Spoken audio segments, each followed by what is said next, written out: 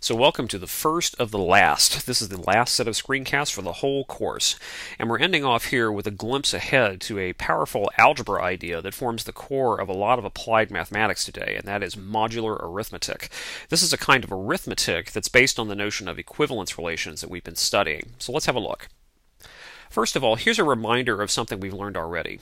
If we take the set of integers z and place this relation on it by declaring two integers to be related if and only if they are congruent to each other mod 3, then we've seen that this is an equivalence relation on z, the integers. It's a relation that is reflexive, symmetric, and transitive. In fact, if we replace 3 with any natural number, this is still an equivalence relation by the result of theorem 3.30 from your textbook. Let's have a look at some of the equivalence classes under this relation. First of all, what is the equivalence class of 0? Well, by definition, this is the set of all integers that are equivalent to 0 under this equivalence relation. And that means that it's the set of all integers that are congruent to 0 mod 3. So let's list those. 0 must be in the set because 0 is equivalent to itself mod 3. So would 3 and negative 3, 6 and negative 6, and so on.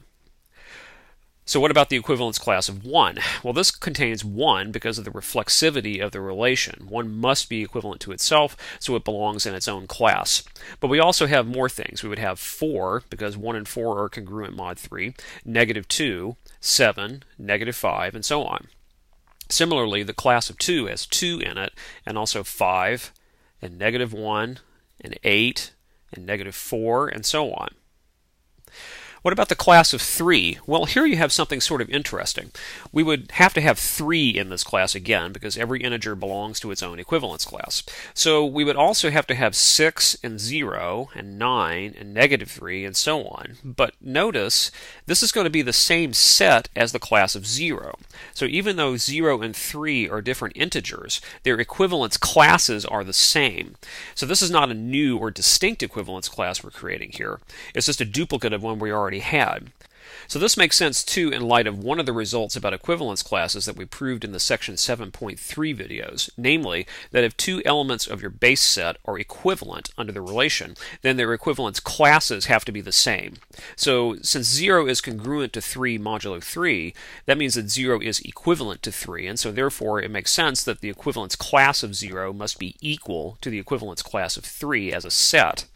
We could start writing out the class of 4 as well, but since 4 is equivalent to 1 under this relation, we know we're just going to get the same set in the end as we did with the class of 1. So here's a question that will help you make a leap to an important concept that arises out of this example. Let's suppose that n is any natural number bigger than or equal to 2, and let's look at the relation on z, the entire set of integers, given by congruence mod n. So this is like the example we just saw, except we're replacing the 3 with just a generic natural number n bigger than or equal to 2. How many distinct equivalence classes will there be in this relation? By distinct, we mean different. So what's your thought on this? Well, the correct answer here is going to be B. There's going to be n different equivalence classes, where n is the natural number that we picked earlier.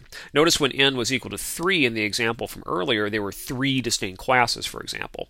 We could write out more classes with different representatives, like the class of 3 or the class of 4, but although these appear to be different because of the different representatives inside the brackets, they were not different sets because the class of 3 was equal to the class of 0 as a set, and the class of 4 was equal to the class of 1 as a set.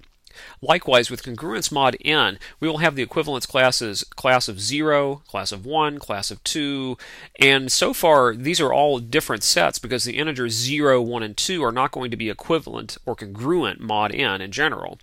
We could keep going with the class of 3 and so on all the way up to the class of n minus 1. Now if I go up one more and look at the class of n, this is going to be the same class as the equivalence class of 0 because 0 is equivalent to n. It is congruent to n modulo n. So since 0 is equivalent to n, the class of 0 and the class of n are the same. Likewise, the class of n plus 1 will be the same as the class of 1, and so on. We just start repeating the classes. They're not really different.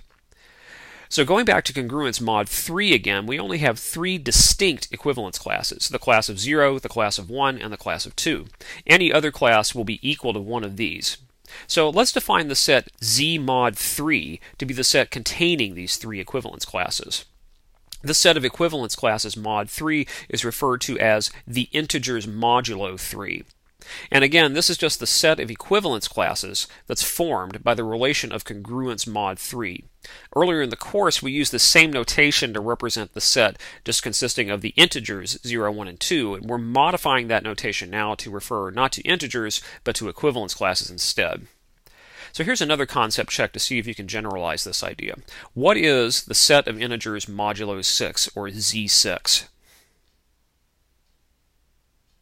The best answer here is going to be C.